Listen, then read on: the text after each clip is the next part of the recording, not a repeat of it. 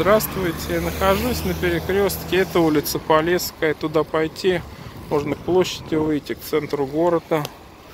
Это улица, там улица этого Цветаева, Угорское шоссе, а здесь улица генерала Родина. И мы сейчас идем парк Угау осматривать.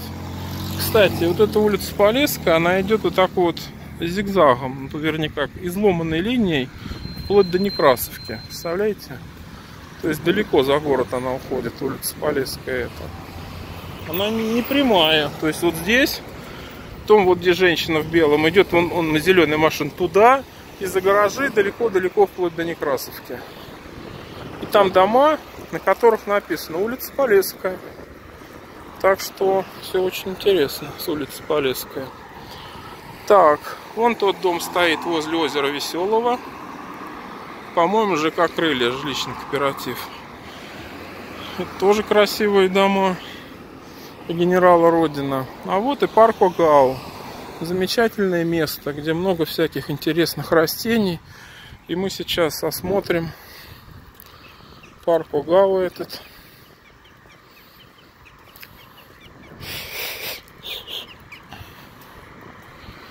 И растения, которые увидим тоже. Прогуляемся. Я не раз уже здесь прогуливался. Ну вот, весна. Даже уже лето наступило.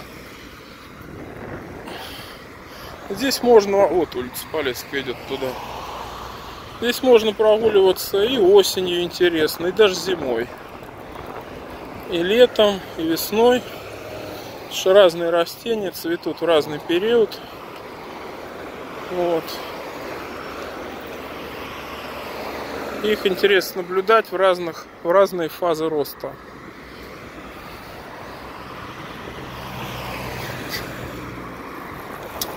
Орловский государственный аграрный университет имени Николая Васильевича Парахина. Там есть памятник Парахину. Мы осмотрим его. Надеюсь, погода нам не помешает. Вот интересно тоже, погода, да? Яндекс, погода. Целый день какие-то дожди. Никаких дождей не было. По крайней мере, в Советском районе, где я живу, не было дождя.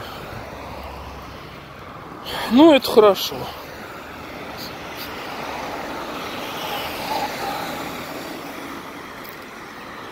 Так. Там у нас что? Там у нас ничего.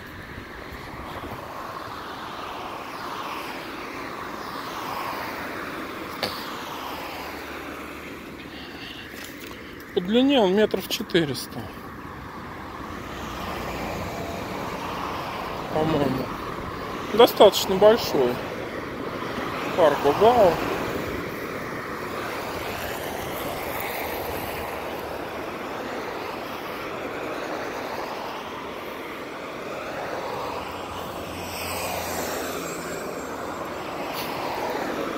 Да, тут какие-то, смотри, ремонты.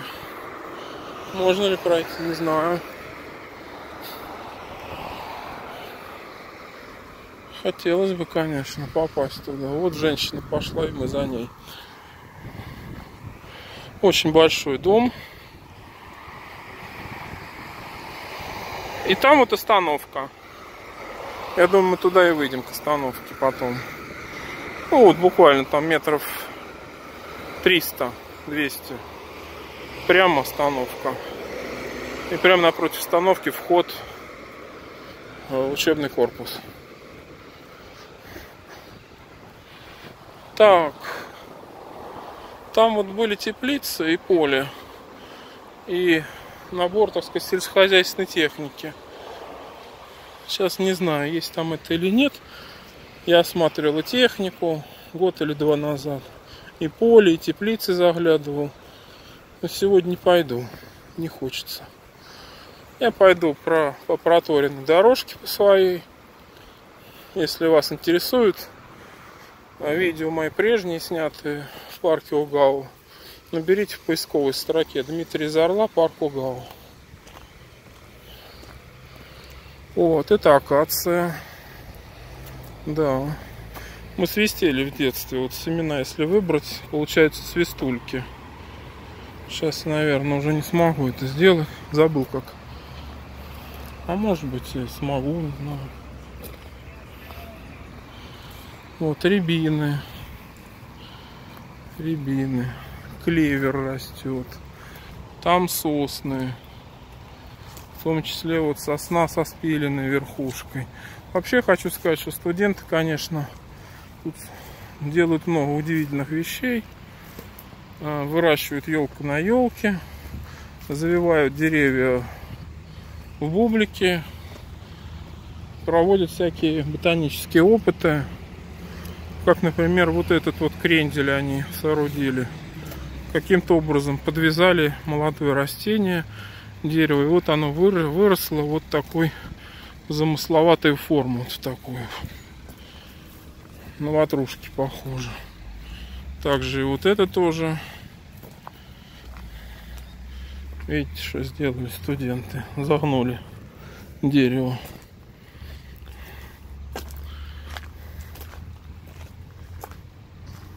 И это тоже опыты такие проводят над деревьями.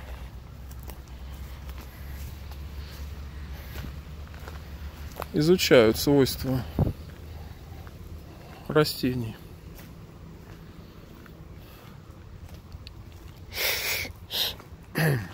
И это тоже. Ну, как бы, я не знаю, вот, видите, здесь вода попадает, древесинка гниет. Ну, не знаю, насколько вредно это дерево, пока оно вот живо.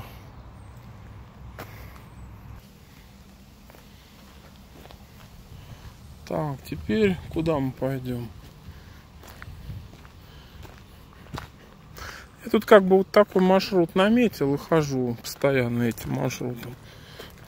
Можно, конечно, еще где-то полазить. Уйти там туда, там, сюда. Ну, я как-то вот так. Хожу, поглядываю. Вон, кстати, остановка желтая. Желтым люди стоят, транспорт ждут. Так что и доехать сюда, и уехать отсюда несложно. Так. Я, к сожалению, не ботаник. Не могу вам рассказать какие-то растения.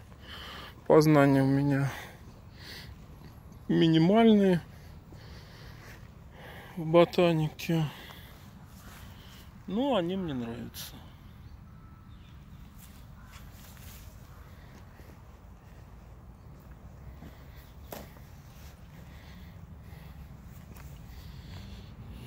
Это какой-то космический мотоцикл.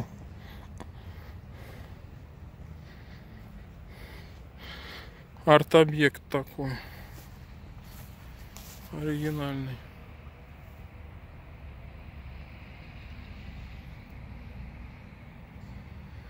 На картинку поставлю.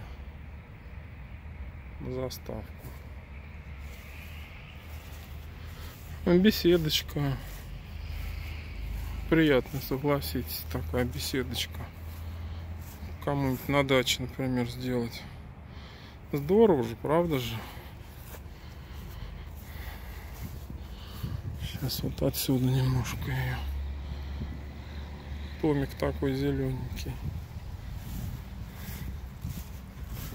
Посидеть от зноя, от жары. В этой беседке очень даже неплохо. Влюбленным и всем.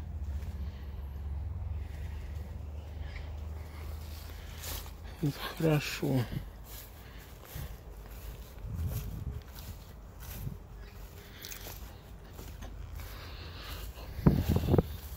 Есть такая карета для новобрачных можно снимать.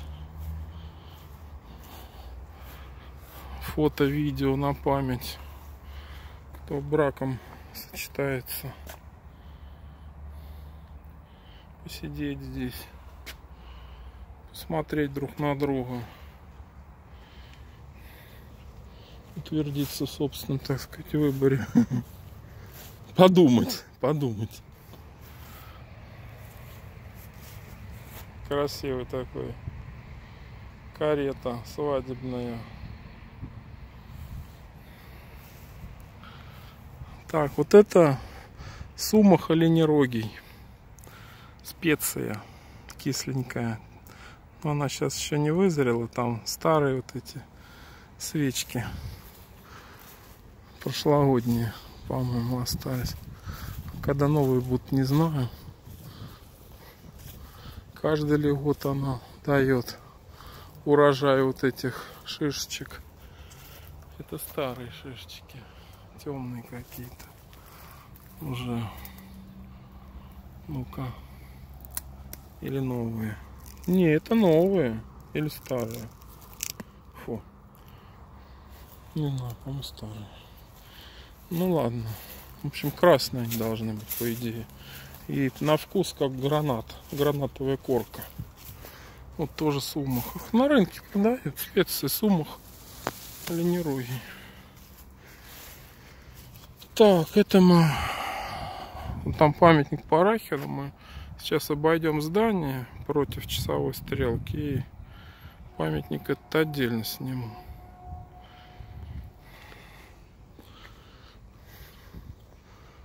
Так.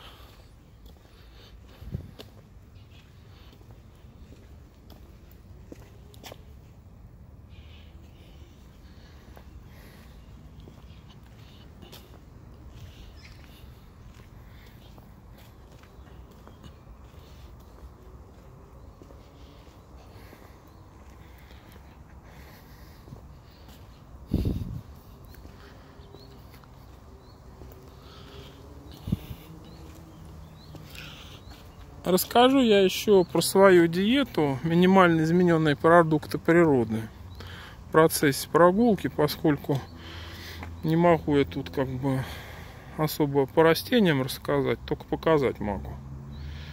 Не спец, не ботаник.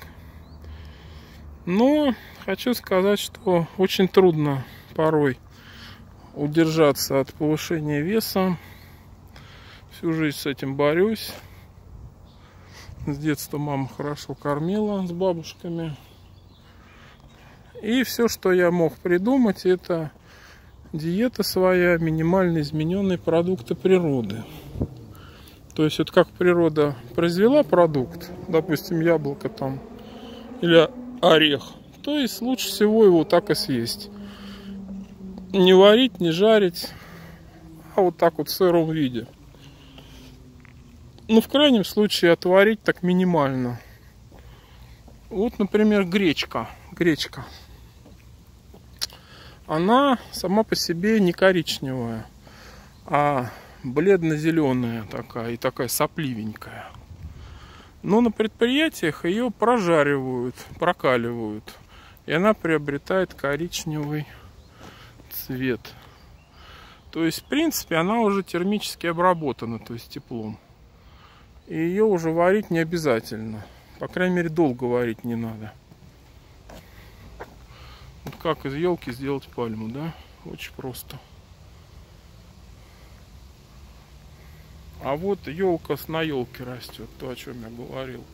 Двухъярусная елка. Много всего интересного.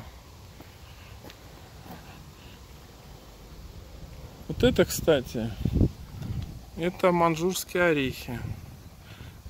Манжурский орех. И это тоже манжурский орех. Я пробовал эти манжурские орехи. Они похожи на грецкие орехи. Но там очень мало, собственно, ореха вот этого. То есть там очень много шкурки, скорлупы, а ореха мало, мяса орехового. Поэтому есть их сложно, но можно. Видел я здесь еще и белок неподалеку. Да, здесь белки живут. Вот, кстати, лежит скорлупа от этих орехов манжурских, видите? И вот сам орех. Вот он какой выглядит. Видите? Их распиливают дисками, окрашивают, делают бусы там или что-то такое. Вот он, Марий орех манжурский. И вон они созревают, орешки.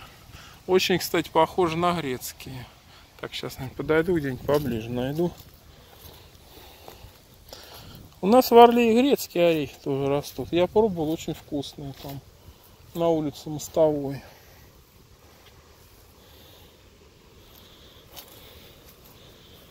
В частном одном доме.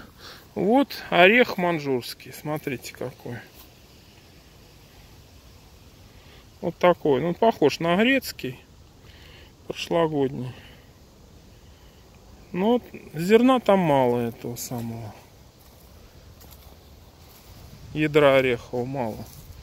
Поэтому, в общем, мало что с него можно поиметь в плане съедобного.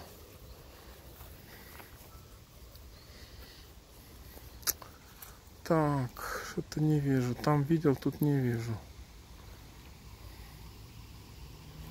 Я хочу просто вам показать эти вот они, зелененькие. Это зреют орехи манжурские, смотрите. Вот такими гроздями, видите? Вот. Ну-ка. Один сорвал уж, извините. Вот это зелепупка манжурского ореха. Зависть, так сказать.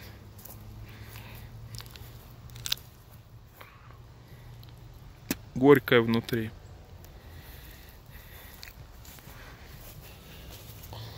Они тут валяются. Наверное, белки их и грызут тут. Хотя не знаю, ну, железные зубы иметь, чтобы разгрызть. Или каменные там. Очень-очень твердые скорлупа. Тяжело колется. Ну, в целом можно, можно, можно. Тисками там расколоть, молотком раздолбить. Можно. Так вот, моя диета. Минимально измененный продукт природы. Вот, к сожалению, сожалению. Не получается у меня всегда и придерживаться. Я очень люблю хлеб с детства. И этот хлеб иногда съедаю. Еще люблю сладости. Конфеты там всякие, шоколадки, торты. Тоже иногда срываюсь. Вот беседочку интересно сделали студенты. Посадили деревья вокруг. Ну а так в целом, в идеале, когда я длительное время придерживаюсь этой диеты, минимально измененный продукт природы, то вес идет на убыль. Да. Еще я заметил, хорошо ограничить количество продуктов там, чтобы не слишком их много было. Потому что разнообразие, оно влечет как бы переедание.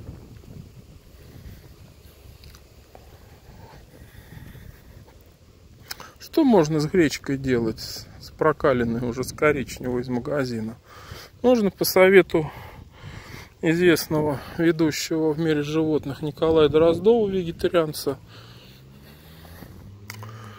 можно залить кефиром или простоквашей, кисломолочным каким-нибудь продуктом. Это ирисы вроде бы. Или пион, не ирисы, наверное. Или розы, не знаю. Розы, может залить на часа на три. И, в общем, очень получается вкусная такая сырая, сыроедческая каша. Гречневая. С простоквашей или с кефиром. Или с ряженкой. Это доски героев труда и обучения сотрудников ОГАУ.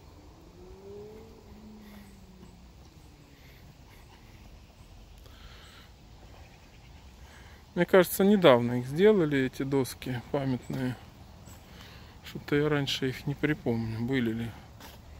Может, прошел невнимательно.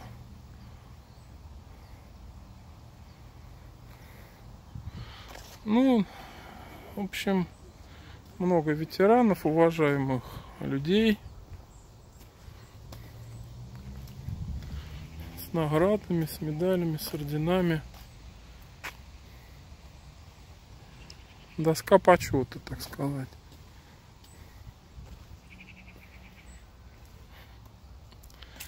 Так, и идем дальше осматривать растения. Огау.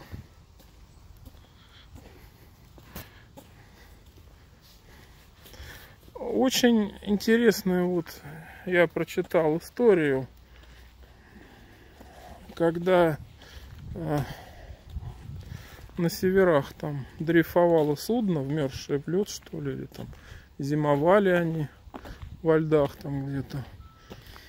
И у них началась цинга. Они пережидали, в общем, зиму. Ждали оттепели в северных краях. Где-то там возле Северного полюса неподалеку. На судне. Началась цинга у экипажа. И судовой доктор стал проращивать горох обычный и давать команде по горсти. И цинга прекратилась. И также известно, что любители здорового питания иногда проращивают пшеницу. Пшеничные зерна. Там, в общем, до 3 миллиметров хвостики отрастают, потом нельзя, уже ядовитые они становятся. И подсчитано, что где-то до 600 раз увеличивается содержание полезных веществ в проросшем зерне. Собственно, поэтому-то и цинга отступила от экипажа. Потому что экипаж стал получать витамины, крайне необходимые для них. Еще я пытался проращивать подсолнечные семечки очищенные, сейчас продаются по 100 рублей где-то оптом по 150 розницу. От 5 килограмм опт. Ну, заливаешь просто водой, они набухают. Через 3 часа у них уже они становятся мягкими, сухие семечки. И с них слетает шкурка.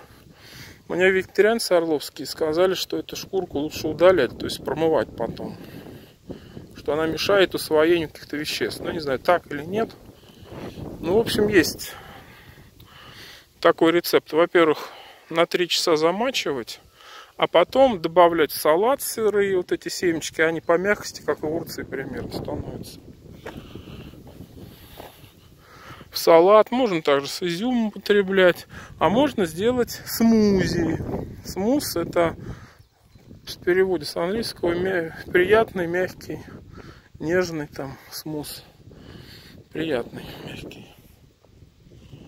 То есть блендером с водой размалываются вот эти размоченные злаки, зерна. Кстати, вот насквозь можно выйти к остановке туда. Блендером и теплой водой размачивается, размалывается. С чем можно размалывать? Можно сделать соус к блюдам, к разным. Добавить, значит, сыр, травы, а, специи. Получается вот что-то вроде печеночного такого паштета. А можно а, вот эти семечки размоченные размолоть с теплой водой с бананом и с ванилином. Получается крем, похожий по вкусу на пломбир, на мороженое. Коктейль, на молочный коктейль. Очень вкусно. Можно семечки немножко поджарить и размолоть кофемолки и смешать с медом. Получается халва. Можно сделать, так сказать, есть такие вот направления в кулинарии. Раф, торты, раф пирожные. То есть сырые торты, сырые пирожные. Готовится семечек, орехов там, размолотых а, хлопьев овсяных, там ягод, меда, сухофруктов, изюма. Но я что вот делал? Я брал, например, по-простецки семечки подсолнечные, ну, сухие, очищенные. Ух, какой куст приятный. Пойдемте пройдем. Семечки подсолнечные размалывал в кофемолке. Потом размалывал примерно столько же овсяных хлопьев в кофемолке. Потом тер морковку мелко.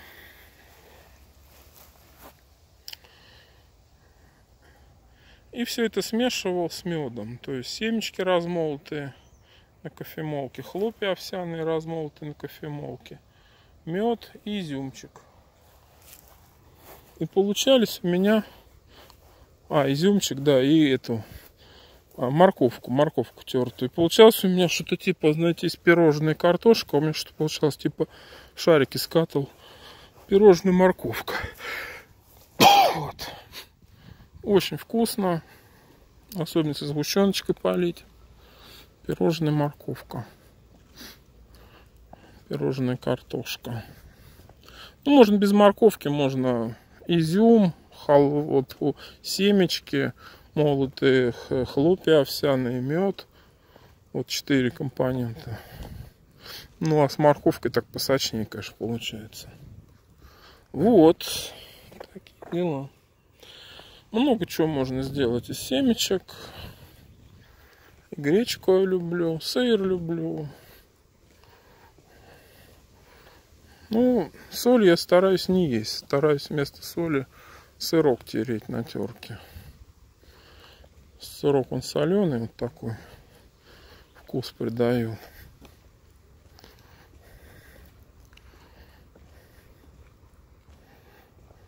Чуть это за шары такие в помойке? Ладно, не буду подходить. Вот. Э, морковку люблю.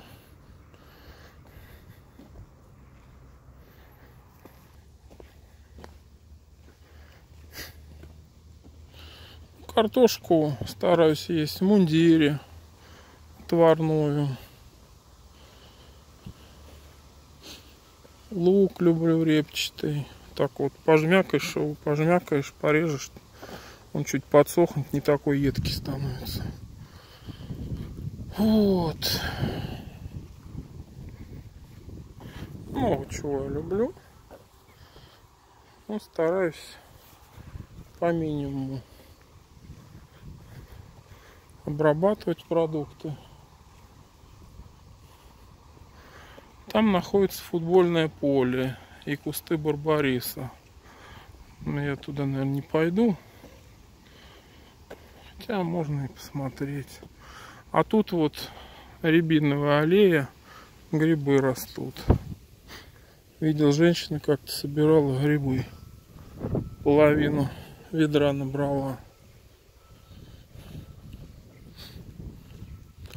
При мне. Я с ней даже поговорил, записал в ролике.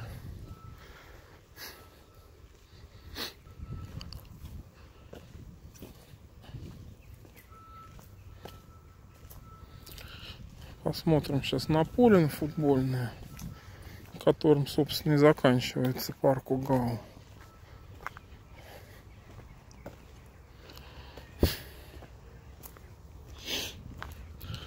Так что такая у меня диета, минимально измененные продукты природы, имеется в виду от природного состояния.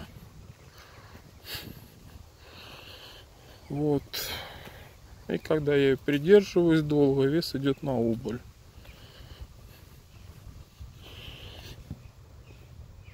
Главное не получать пустых калорий, чтобы питательные вещества были сбалансированы. Ну, природа сама все балансирует. Наше дело только не уменьшать их ценность природную варкой, жаркой, все такое. Ну там эти как их тренажерчики, всякие шведские стенки. Я снимать не буду, просто показал вот окраины парка Угау. И сейчас давайте возвратимся, посмотрим на памятник Парафину Николаю Васильевичу, по-моему. Человеку, который руководил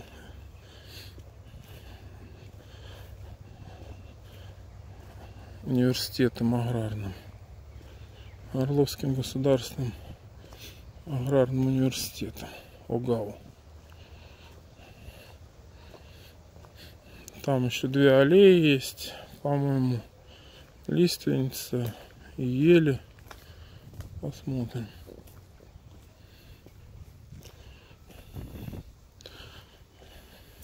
Я точно не помню, в каком месяце здесь много цветов было. По-моему, ближе к осени.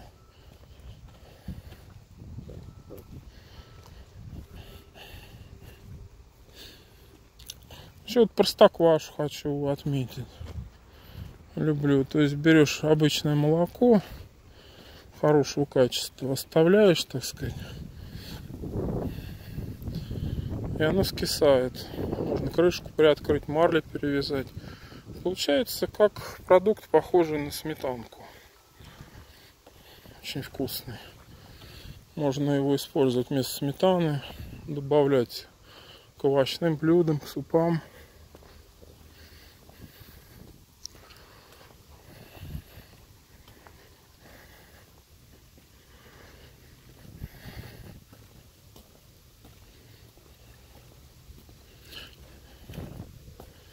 Вот у меня силы воли не хватает, поэтому у меня лишний вес, конечно, есть. Нет-нет, да и съешь там какого-нибудь хлеба там или пирожных, или конфет. Есть у меня некоторый избыток лишнего веса. Ну, на мой взгляд, не особо сильный. Но, конечно, сбрасывать надо. Поэтому, собственно, я вот сегодня такую прогулку предпринял хорошо пообедав. Надо отработать.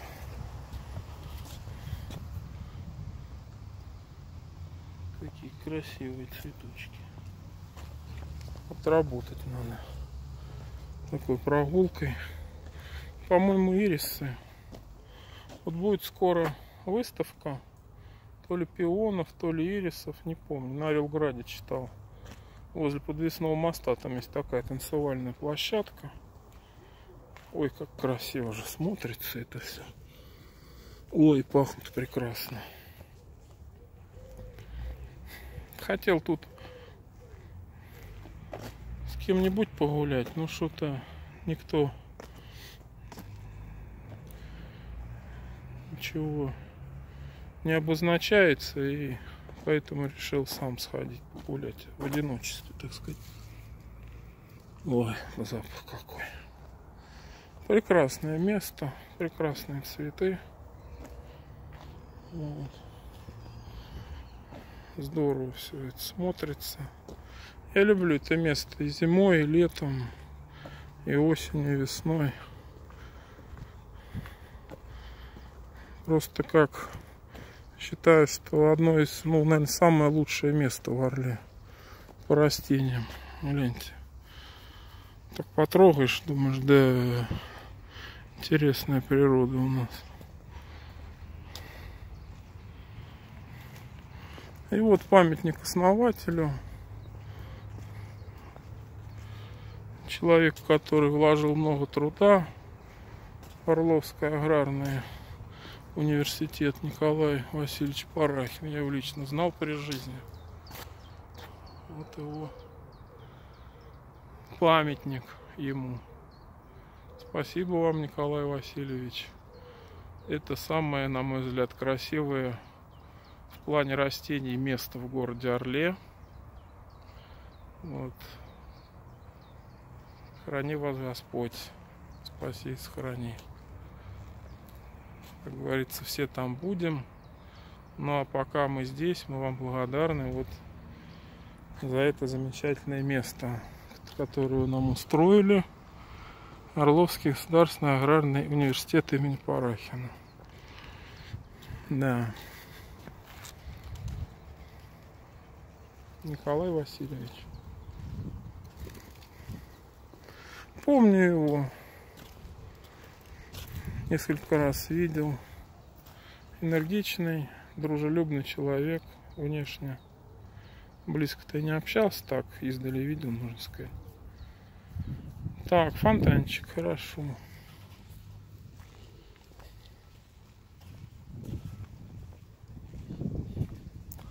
Вот такая получилась у нас прогулочка по парку Угал. Давно, давно сюда собирался но не находилась попутчика и решил я есть как бы никто никуда не просился гулять особо и из знакомых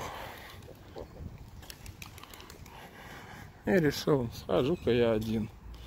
Вот это, по-моему, лиственница или пихта, я не знаю. Аллея, лиственница или пихт. Лиственница, я думаю. Птиц, птичка сорока кричит что-то. А, две там птички. Они там брачуются, что ли? Замечательно. На дереве сидят птички. Что-то хочет, я думаю, самец.